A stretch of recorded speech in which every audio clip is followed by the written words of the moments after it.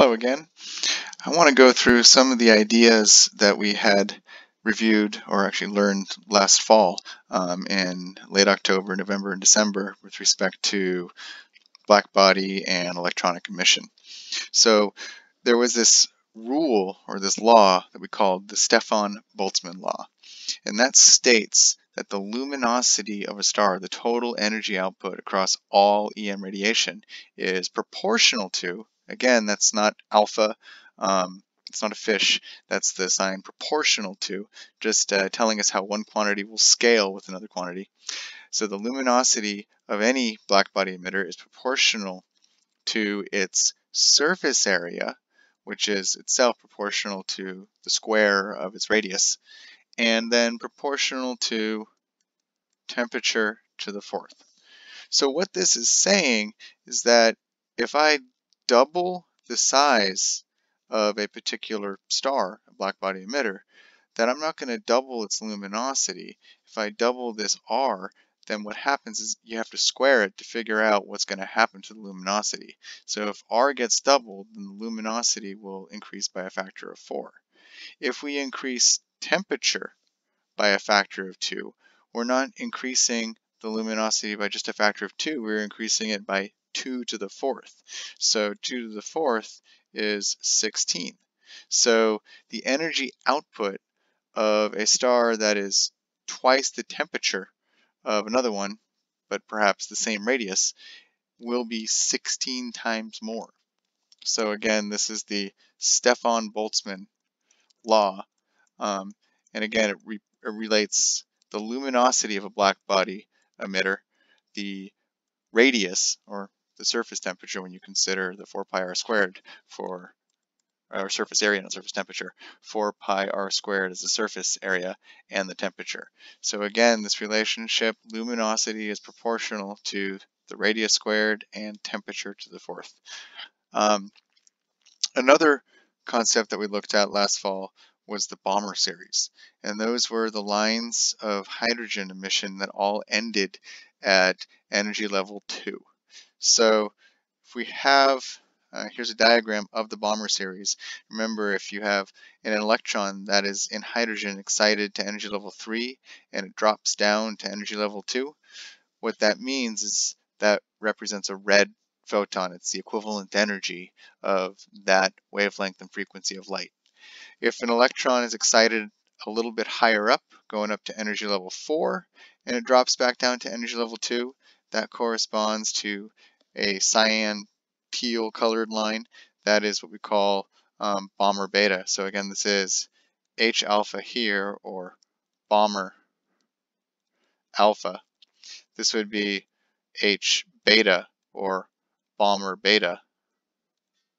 And then so on and so forth. The energy level, oop, I gotta scoot these up a little higher. I gotta make sure that I'm labeling the proper thing here.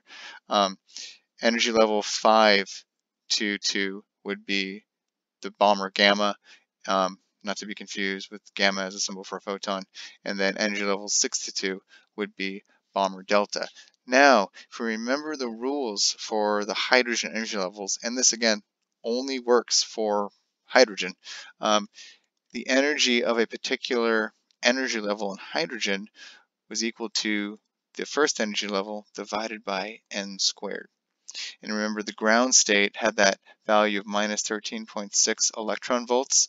And as you climb the energy levels, that's uh, those are some bad lines right there. What happens is they, they get closer and closer and closer.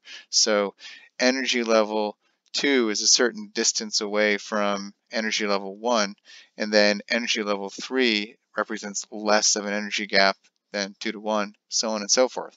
So as an electron gets excited further up to energy level 7 to energy level 8, if it's dropping back to 2, then what happens is we only inch over just a little bit more um, in terms of energy. And so you just start getting a little bit less energy gain each time. So the whole Balmer series, these lines get closer and closer and closer. This would be, if you get a little bit past here, that would be ultraviolet. Conversely, this is infrared. So that's what we say when we mean the Balmer lines converge towards the ultraviolet end of the of the visible spectrum.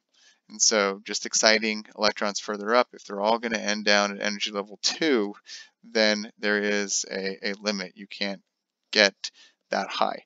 Um, another terminology that is kind of confusing. Um, astronomers, I think, are the only people that use this this terminology, this notation, um, this element in a Roman numeral, which is different from maybe the Roman numeral notation you learn in chemistry.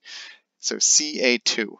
Well, let's say I'm going to start with Ca Roman numeral 1, and then Ca Roman numeral 2, and then Ca Roman numeral 3. So calcium Ca Roman numeral 1 represents neutral calcium. This would be calcium that has all of its electrons, so it is neutral, it's a neutral atom. Calcium with the Roman numeral 2 represents calcium that lost a single electron.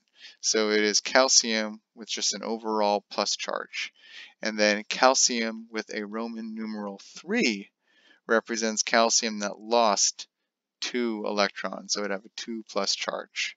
So I know it's kind of annoying. This is terminology that I think only astronomers use, um, but it's it's been used for over 100 years now, and it's not going to change until somebody comes up with something better and just people start using it without being told to use it.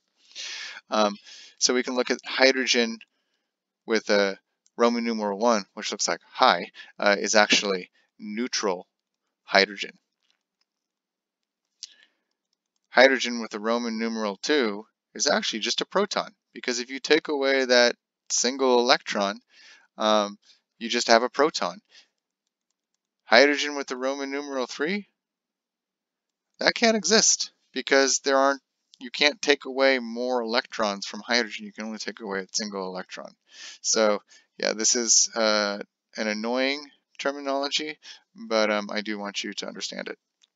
Um, spectral types. So what type of star is hotter on the surface, O or F type? Well, there is the O, B, A, F, G, K, and M. So these represent the spectral classes of stars as reordered by Annie Jump Cannon over 100 years ago um, when she realized, or maybe she did, maybe she didn't realize that it represented a thermal spectrum. Um, there were other reasons why she had rearranged this, and we read about those in the glass universe. Um, and we'll continue to read a little bit more about that when we return to the glass universe. The um, O-type, though, these are hot stars, and these are cool stars. And again, cool surface temperatures, uh, changing the perceived color. Um, so you'll look at uh, an applet online that'll actually really illustrate for you the connection between spectral type, surface temperature, and uh, perceived color of a star. Now, one thing that we can use for some stars, we can infer some size from a spectral type. Um, but when we get to other spectral types, I'm going to answer this question, what type of star is larger, a G or M type star? Um, it really depends. And this is where we will turn to something called the HR diagram to really explain how a G or M type star could take on various different sizes.